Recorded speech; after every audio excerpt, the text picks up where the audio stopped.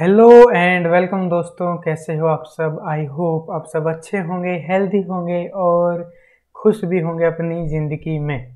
मैं यही उम्मीद करता हूँ आप सबसे। तो आज की एनालिसिस शुरू करते हैं। आज के एनालिसिस से मैं पहले बताना चाहूँ कि मेरा व्यू क्या है मार्केट को लेके। मेरा व्यू बुलिश है और उस बुलिश व्यू होने के काफ़ी सारे रीजन्स हैं जो कि मैं ज़रूर डिस्कस करूँगा आपके साथ। अगर आपको वो लगे, अगर लगता है मतलब आपकी सोच से कहीं ना कहीं मेरी सोच मैच करती है। लाइक सोच इन द सेंस जो प्रिडिक्शन है स्पेशली उसकी बात करूँगा, देखो डेफिनेटली वीडियो को लाइक ज़रूर करना और चैनल को सब्सक्राइब ज़रूर कर लेना। हमारे सब्सक्राइबर बहुत थोड़े हैं अभी भी, हमें बढ़ाने हैं और साथ मिलके आगे बढ़ना है। चलो, शुरू करते हैं आज की एनालिसिस आज के एनालिसिस में अगर देखोगे तो मैं वीकली एनालिसिस कर रहा हूँ बिकॉज़ टुडे इज़ संडे तो सबसे पहले मैं एक चीज़ आपको इंटरेस्टिंग बताना चाहूँगा। कि देखो, हमारी मार्केट ने पहले अच्छा खासा मूव दिखाया था। उसके बाद एक होल्ट लिया था। होल्ट के बाद मार्केट ने स्लोली एंड स्टेडली कंटिन्यू किया था। यहाँ से फिर एक रैली ज़रूर आई थी। इस टाइम पे मैंने ये देखोगे तो मैंने वीकली चार्ट खोला हुआ है। इस चीज़ का ज़रूर ध्यान रखना। उस रैली के बाद क्या हुआ था? हमें एक higher low, last higher low structure मिली थी। सॉरी, हायर हाई स्ट्रक्चर मिली थी। उसके बाद हमें एक हायर लो स्ट्रक्चर मिली थी। उसके बाद से हमें नया ट्रेंड मिलना शुरू हो गया था दैट वाज लोअर हाई यहाँ पे हमें लोअर हाई मिला then lower low lower high यहाँ पे डबल बॉटम के बाद एक मूव अप साइड में हमें वीकली बेसिस पे देखने को मिला था बट अगेन यहाँ से भी हमें करेक्शन देखने को मिली और उसके बाद यहाँ अब स्लोली एंड स्टेडली मार्केट लग रहा है कि ऊपर की साइड जाने वाली है। अब मैंने थोड़ी ही देर पहले बोला था कि मेरा व्यू बुलिश है। तो चलो, पहले बुलिश व्यू के रीजन्स हम यहाँ पे जान लेते हैं क्या क्या रीजन्स अगर आपको वो रीजन्स समझ में आए, अगर लगे कि हाँ वो रीजन्स हो सकते हैं तो देखो डेफिनेटली इस मेरी रिसर्च को या फिर इस कह सकते हैं इस मेहनत को लाइक देना ज़रूर बनेगा। ठीक है? चलो, बताता हूँ मैं, क्यों क्यों मैं क्यों मैं बोले हूँ। सबसे पहला रीज़न दे चार्ट स्ट्रक्चर ही देख लेते हैं हम। यहाँ पे एक मेजर सपोर्ट थी जो पहले एक मेजर रेजिस्टेंस का काम कर रही थी यहाँ पे। और यहाँ पे अगर आप देखोगे रेजिस्टेंस का काम की थी उसके बाद ब्रेकआउट आए थे and slowly and steadily market ने अच्छा खासा लगभग 18,700 के ऊपर तक का एक मूव दिखाया था। वहाँ से हमें करेक्शन देखने को मिला lower high lower low structure हमें देखने को मिली थी। तो अभी हमें रिसेंट में ही एक लोअर लो स्ट्रक्चर तो मिल गई है। लोअर लो स्ट्रक्चर तो हमें रिसेंट में मिल गया बट एक प्रॉपर स्विंग वाली प्रॉपर स्विंग जैसे ये कि ये स्विंग एंड ये स्विंग क्योंकि ये चैनल में चल रहा है ना तो अब लगभग ये स्विंग और ये स्विंग एक स्विंग इसलिए मैं कह रहा हूँ कि ये स्विंग तो बनता ही है, ठीक है? तो अब हमें लोअर हाई वाली स्ट्रक्चर मिलना बाकी है। तो इसलिए पहला रीजन जो मेरा बनता है कि मार्केट स्लोली एंड स्टेडली सत्रह हज़ार पाँच सौ के अराउंड जानी चाहिए। Market in the sense Nifty सत्रह हज़ार पाँच सौ के अराउंड ज़रूर जाना चाहिए।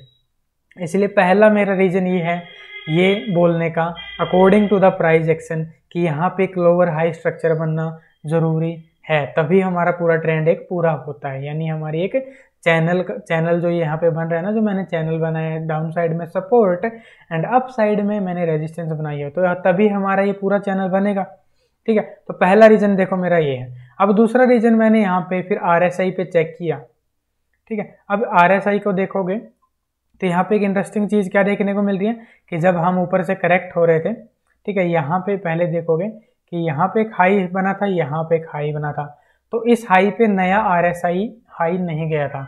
उसी की वजह से आरएसआई ने पहले इंडिकेट कर दिया था कि एक जो है डाउनफॉल आ सकता है। उसके बाद देखोगे तो कंटिन्यूस डाउनफॉल आ रहा है कंटिन्यूस डाउनफॉल आ रहा है कंटिन्यूस डाउनफॉल आ रहा है। बट एक चीज़ नोट करने वाली होगी, ये वाला लो और नेक्स्ट वाला लो ठीक है, यहाँ पे हमें RSI के अंदर बहुत ज़्यादा डिफरेंस जो है नहीं देखने को मिल रहा।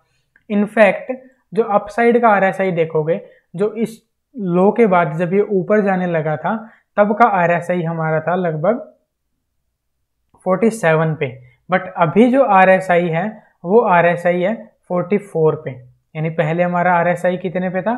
सॉरी पहले 46 पे था, और जो अब RSI है, वो भी 46 पे है। बट एक चीज़ देखोगे कि ये हाई कितना हाई था एंड इस दिन की क्लोजिंग इस दिन की क्लोजिंग इन द सेंस इस वीक की क्लोजिंग देखोगे तो डाउन है। यानी इतने डाउन होने पे क्या हमें आर एस आई के अंदर एक डाइवर्जेंस नहीं देखने को मिल रहा है यहाँ पे? तो जो सेकेंड रीजन है मेरा बुलिस होने का वो आर एस आई डाइवर्जेंस है। यहाँ पे मुझे कहीं ना कहीं आर एस आई डाइवर्जेंस भी देखने को मिल रही है, जो कि मेरा सेकेंड रीजन है। प्राइज एक्शन के according lower high lower low structure के अकॉर्डिंग एक लोअर हाई स्ट्रक्चर बनना अभी बाकी है। दूसरा, तीसरा रीजन दो रीजन हो गए। देखो आर एस आई हो गया। तीसरा रीजन पे आ जाते हैं। तीसरा रीजन क्या है यहाँ पे?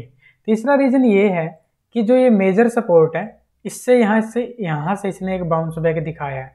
और वो जब भी एक मेजर सपोर्ट से बाउंस बैक आता है वो हमेशा, जैसे इस बाउंस बैक को ही देख लो। जब यहाँ से बाउंस बैक आया था, ठीक है, यहाँ से बाउंस बैक आया था, ये मेजर सपोर्ट थी तो कितना स्ट्रॉन्ग बाउंस बैक आया था, ठीक है? तो इसलिए मैं बोल रहा हूँ कि जब भी एक मेजर सपोर्ट से बाउंस बैक आता है तो वो काफ़ी strong bounce back bounce back होता है। तो तीसरा रीज़न मेरा ये भी है कि इस सपोर्ट के बाद एक अप साइड दिखा रहा है। तो यहाँ पे हमें तीन रीजन मिल गए। ठीक है? प्राइस एक्शन और चार्ट के अकॉर्डिंग अब मैं चौथे रीजन पे आ जाता हूँ कि मैं बुलिश क्यों हूँ? मेरा रीजन देखो मार्केट कहीं भी जा सकती है बट अपनी प्रिडिक्शन पे क्या क्या फैक्ट इन्वॉल्व हो रहे हैं क्या क्या चीज़ें अपनी साइड में उनको जो है कैलकुलेट करना बहुत ज़रूरी होता है। अब मैं यहाँ पे आपको दिखा रहा हूँ कुछ इम्पोर्टेंट चीज़ें। यूएस डॉलर ओएल देखोगे तो लगभग 130 से करेक्ट हुआ है, जो लगभग लगभग 30 परसेंट करेक्ट हो चुका है, अपने हाई से। अपने हाई से लगभग जो है कच्चा तेल है, वो 30 परसेंट करेक्ट हो चुका है।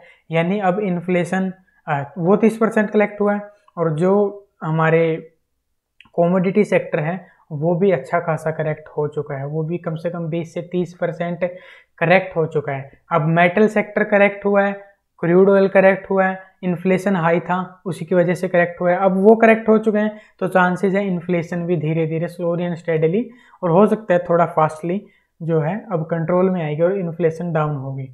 तो चौथा मेरा रीज़न क्या है कि इन्फ्लेशन डाउन आने के चांसेस चौथा हाँ इन्फ्लेशन डाउन आने के चांसेस अभी हमें ज़्यादा लग रहे हैं क्योंकि अच्छी खासी करेक्शन हमें देखने को मिली है।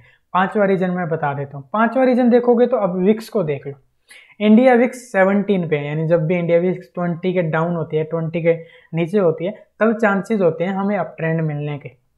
ठीक है जब इंडिया विक्स हाई होता है, यानी फियर हाई है और फियर जब हाई होता तो मार्केट कभी भी अपसाइड में सस्टेन नहीं कर पाती। तो एक पांचवा रीजन ये भी है कि इंडिया विक्स अभी मुझे यहाँ पे अच्छा खासा डाउन लग रहा है।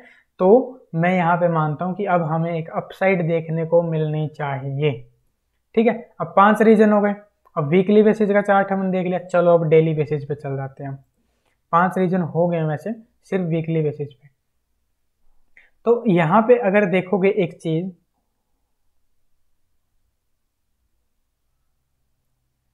हाँ यहाँ पे देखो। अब यहाँ पे देखोगे बीच में यहाँ पे कुछ न्यूज़ आई थी, कुछ कुछ बैड न्यूज़ आई थी। उन बैड न्यूज़ पे भी मार्केट ने करेक्शन नहीं दिखाया, यानी एक लो ज़रूर बनाया बट उसके बाद मार्केट ने अभाव बनाया हर बार। यहाँ पे जब भी ये करेक्ट हो रही है तो कुछ ना कुछ बैड न्यूज़ आ रही थी लाइक फेड की मीटिंग हुई आरबीआई वाली मीटिंग हुई तो उनकी वजह से यहाँ पे करेक्शन ज़रूर देखने को मिल रहा था। बट उसके बाद भी मार्केट ने उतना करेक्शन नहीं दिखाया जितना दिखाना चाहिए था। और वहीं अगर आर्ली चार्ट पे देखोगे तो यहाँ पे हमें एक प्योरली क्या देखने को मिल रहा है?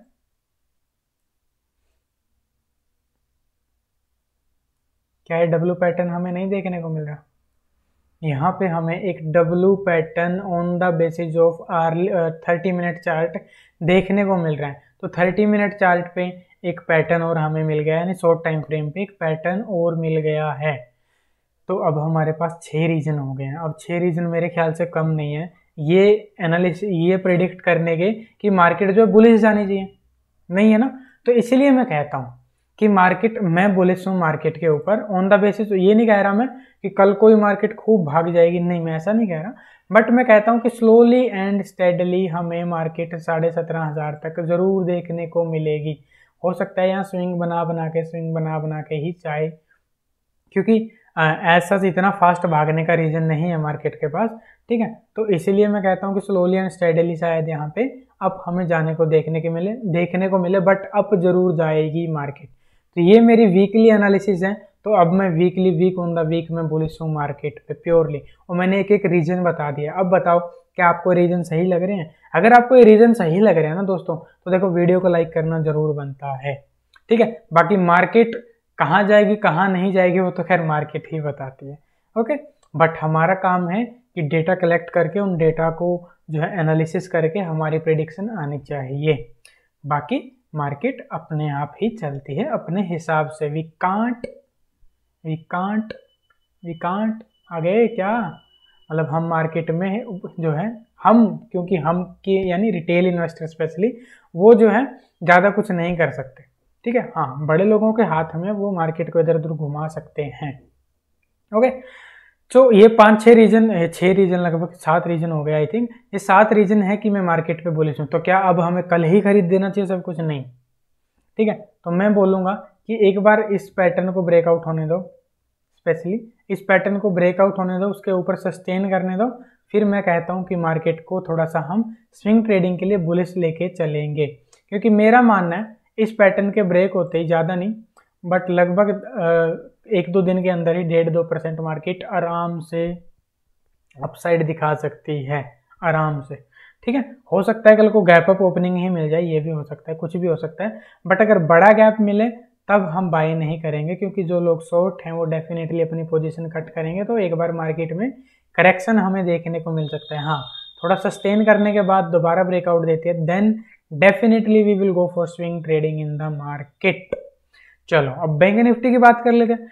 बैंक निफ्टी का चार्ट थोड़ा सा ज़्यादा इंटरेस्टिंग है as compare to Nifty the reason is कि हमें वही, हमें अपसाइड देखने को मिली थी। बैंक निफ्टी में वोलेटिलिटी ज़्यादा रहती है, इसलिए हमें अपसाइड डाउन अपसाइड डाउन मतलब अप डाउन यहाँ पे ज़्यादा देखने को मिलता है। बट अभी रिसेंट में ही देखोगे तो बैंक निफ्टी ने जो ये कुछ वीक पहले ही एक लो बनाया था, उस वीक को ब्रेक नहीं किया।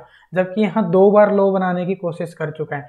और वहीं पे देखोगे कि इसने अपसाइड में भी ब्रेक नहीं किया। तो यहाँ पे एक हमें स्ट्रॉन्ग यानी इत, इतने वाले पार्ट पे एक स्ट्रॉन्ग कंसोलिडेशन देखने को मिल रही है। और उसके बाद भी एक चीज़ और अगर ये यहाँ पे थोड़ा सा होल्ट तो हो ही गया। अगर वीकली बेसिस पे कैंडल हमें स्ट्रॉन्गली क्लोजिंग मिल जाती है अपसाइड के ऊपर तो मैं मानता हूँ बैंक निफ्टी बहुत अच्छा रिटर्न दे सकता है। ठीक है? कुछ सिनेरियो जो पिछले अभी पिछले निफ्टी के दौरान मैंने निफ्टी के एनालिसिस के दौरान मैंने बताए हैं। वो सिनेरियोज तो हैं ही हैं। साथ में चार्ट स्ट्रक्चर भी हमें यहाँ पे बुलिश देखने को मिल रहा है वीकली बेसिस पे। ठीक है? तो मैं और हाँ इस वीक के अंदर यानी कमिंग वीक के अंदर तो हमें एच डी एफ़ सी और आई सी सी के नतीजे भी यानी रिजल्ट्स भी आने वाले हैं। वो रिजल्ट्स भी कहीं ना कहीं डिसाइड करने वाले हैं मार्केट के डायरेक्शन अगर वो रिजल्ट्स अच्छे आते हैं डेफिनेटली हमें अच्छा खासा अप मूव बैंक निफ्टी के अंदर देखने को मिल सकता है। तो हम स्विंग ट्रेडिंग के लिए अप मूव हम अपना तैयार कर सकते हैं बैंक निफ्टी के अंदर। यानी बुलिश व्यू बना के चल सकते हैं। बट क्योंकि सी और आई बैंक के नतीजे आने वाले हैं तो वो यहाँ पे वोलेटिलिटी भी देखने को मिलेगी। इसलिए रिस्क अपना मैनेज करके चलना है। अगर आप बैंक निफ्टी में ट्रेड करना चाहते हो तो। ठीक है? तो ये कुछ मुझे फैक्ट्स लगे, ये कुछ मुझे रीजंस लगे। जो मुझे लगा कि ज़रूर शेयर करने चाहिए थे तो इसलिए मैंने शेयर भी किए। वीकली बेसिस पे करेक्शन आ चुका है तो मैं मानता हूँ। सॉरी डेली चार्ट पे अगर देखेंगे तो यहाँ पे अब अपसाइड जाने के लिए शायद बैंक निफ्टी तैयार है तो we are expecting bull run in the bank Nifty also ठीक है? नाउ आई होप आपको ये एनालिसिस समझ आई होगी। ठीक है? इसमें मैंने मेन मेन मेन सिर्फ़ प्राइस एक्शन ही लिया है चार्ट लिया है और कुछ अदर फैक्टर्स लिए हैं, ठीक है? डेटा मैं ज़्यादा कैलकुलेट नहीं कर रहा हूँ। कैल द रीजन बिहाइंड इज़ क्योंकि डेटा ना, अभी देखोगे डेटा बेरिस होता है, सुबह गैप अप ओपनिंग मिल जाती है। डेटा बुलिस होता है, सुबह में गैप डाउन ओपनिंग मिल जाती है। तो इसलिए डेटा पे प्योरली रिलाई नहीं करेंगे। हाँ लाइव मार्केट के अंदर डेटा हम ज़रूर एनालाइज करके अपनी ट्रेड एग्जीक्यूट करेंगे। ठीक है? तो लाइव मार्केट डेटा ज़रूर देखो बट अभी हम सिर्फ़ प्राइस एक्शन पे ज़्यादा ध्यान देते हैं और अदर फैक्टर्स पे ज़्यादा ध्यान देते हैं।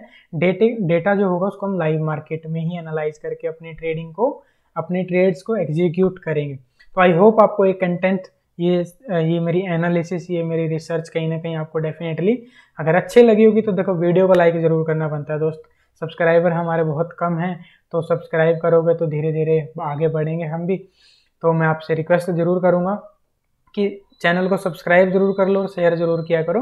मैं अपना दा बेस्ट देने की कोशिश करता हूँ। अभी नेक्स्ट वीडियो के अंदर सब्सक्राइब कर लो तो अभी नेक्स्ट वीडियो जो आज ही आ जाएगी, वो स्विंग ट्रेडिंग कुछ स्टॉक्स मैंने चूज़ किए हुए हैं, उनकी आने वाली है। क्योंकि एक ही वीडियो में बहुत ज़्यादा लंबा हो जाता है, इसलिए मैंने दो वीडियो बनानी पड़ रही है। तो नेक्स्ट वीडियो स्विंग ट्रेडिंग के लिए स्टॉक्स की आने वाली है।